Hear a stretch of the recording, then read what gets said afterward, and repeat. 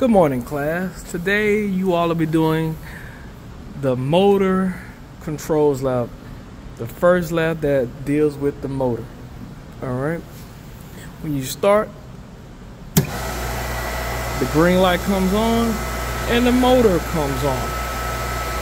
Hit the stop button, the red light is energized. All right. In the next segment, I am going to show you the components that you all are going to be working with. Give me a second.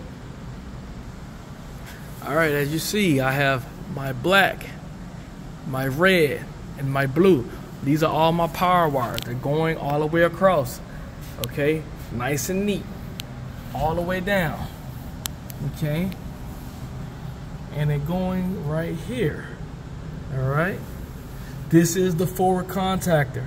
I am going to introduce what the forward contactor is. It operates and acts just as well as the control relays. All right. Also, in this project, I am going to discuss what the overload relay is. Okay. This component right here is the overload relay. All right. This is the motor.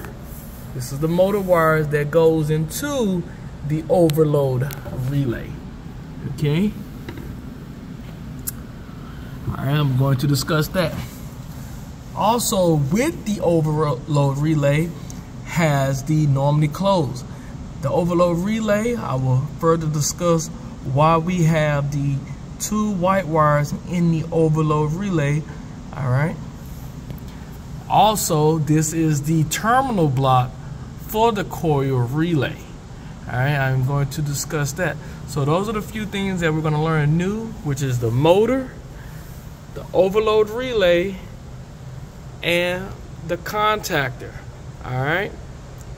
Give me one second. All right, here is today's line diagram. Up here is a 208 three-phase power side of the circuit. Okay. You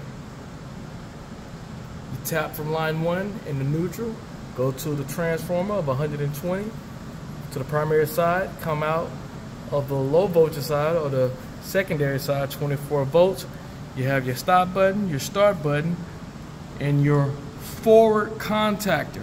F stands for forward contact not control relay but the forward contact.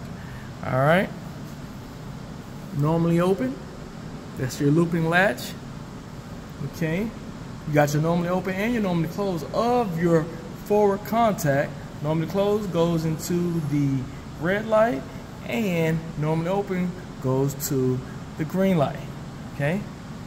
That's what you all are going to do today in class. And I will further explain a little bit more in class.